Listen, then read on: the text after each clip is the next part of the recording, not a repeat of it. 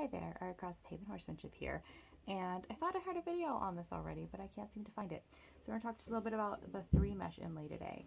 It is 22 millimeters thick, and I'm not smart enough off the top of my head to remember what that is in inches, um, but you can look that up, and it's of course in the information.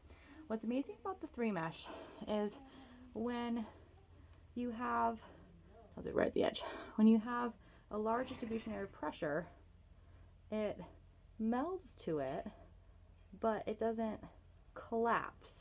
So it's a really springy material. However, in areas where there is abnormalities, like if I were to pinch it, you'll see it gives.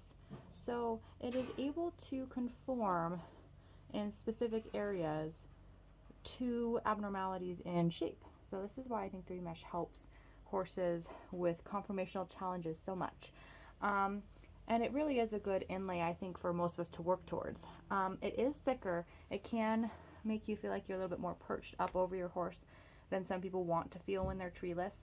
Uh, so that's why I typically recommend that people start with one of the other inlays, uh, the felt or the poly press in particular.